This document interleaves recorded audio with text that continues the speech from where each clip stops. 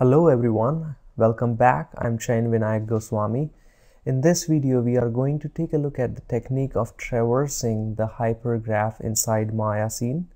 If you need to jump to a particular node to access its properties, how you can do it. With that, we would also learn the technique of reading and writing different attributes of different nodes inside Maya.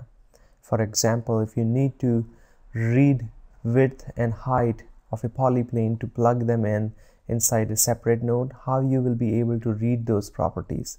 If you need to modify subdivision width and height of a polyplane, how you can do it.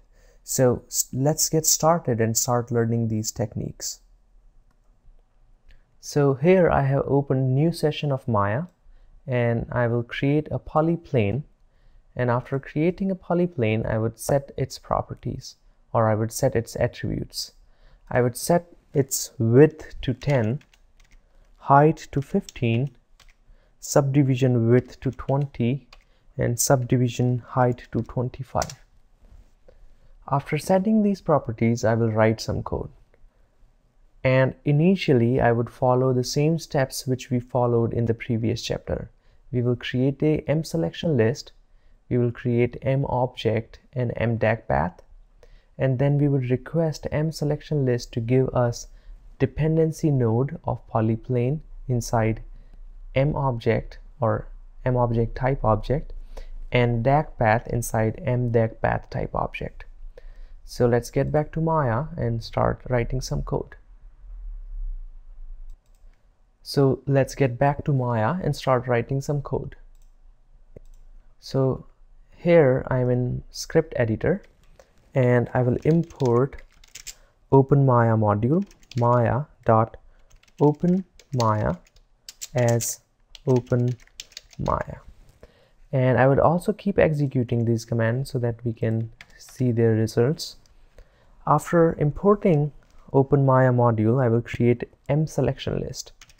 And I will name this variable as lowercase m uppercase sel and it would be open maya dot m selection list type of object.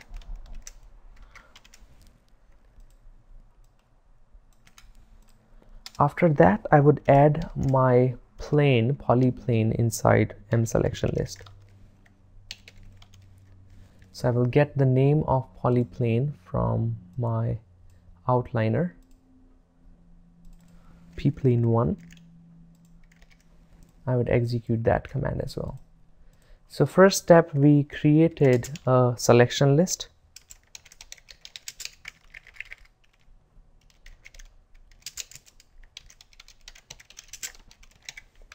The second step is creating m object and m DAG path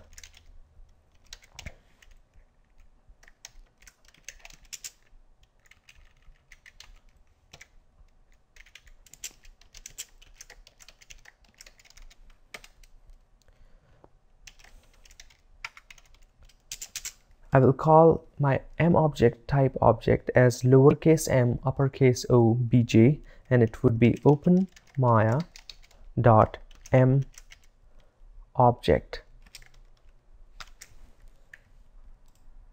Let's create that. After that create m DAG path type object.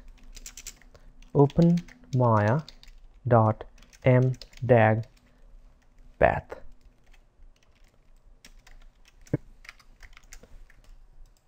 let's create that too. Okay.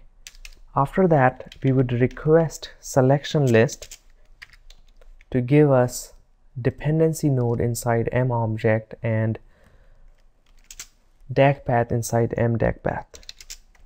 Request dependency node. DAG path of the object okay. And how we would request it? M cell dot get depend node. We need the dependency node of the zeroth object of m selection list. And where do we need it? We need it inside m object m obj in the similar way we need the DAG path. We will get that using function get DAG path and we need the get we need the DAG path of zeroth object inside m DAG path. Okay. So we have gotten DAG path and dependency node. But we also want to verify it if we have gotten the correct path or not. So mdag path dot full path name is a function to retrieve the full path name which is very clear by the function name. So we will print that and it has given us the p-plane 1 because this is the mesh which is present at the root of outliner so there is no parent of it.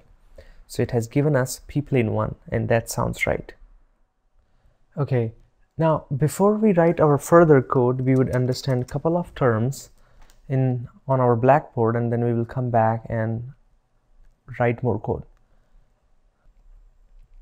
so one of the terms we un will understand here is MFN which stands for model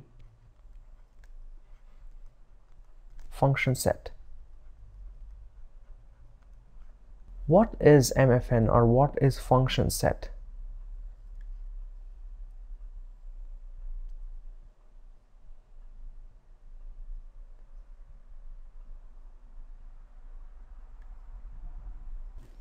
As its name say it's a it's a set of function it's a class that takes a certain input